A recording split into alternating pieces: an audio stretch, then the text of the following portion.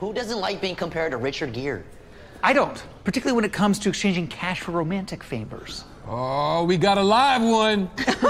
Ooh, I say, who is exchanging money for a romantic favor? The gentleman never discloses. It was the bartender. Yes, it was that bartender. Cap, I saw you cozying up to her. Yo, she was a working girl. Hey, my dad would never have to pay, okay? Thank you, That son. bartender has more money than God, apparently. Okay, then why'd he say Cap had to go all pretty woman on her? No, I wasn't saying Pretty Woman Richard Gere. I was saying American Gigolo Richard Gere. So hold up. She paid you? No, no, but would that be such an unimaginable situation? Why? Who is this gal anyway? Her name is Kendra Harrington. You said Harrington? Wow.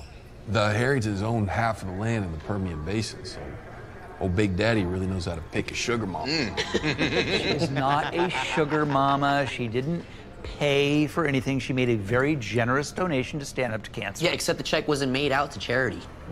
The check was made out to Owen Strand. She obviously meant for me to cash it. Okay. So what'd she put in the memo line?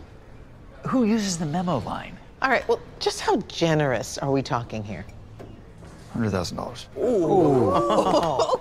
Look, Kendra is a very pure philanthropic woman, and I will not have her motives besmirched. Also, a woman who looks like that does not need to pay for sex. Oh, and she's texting me right now. What's she saying? Let's get together again. Are you avail?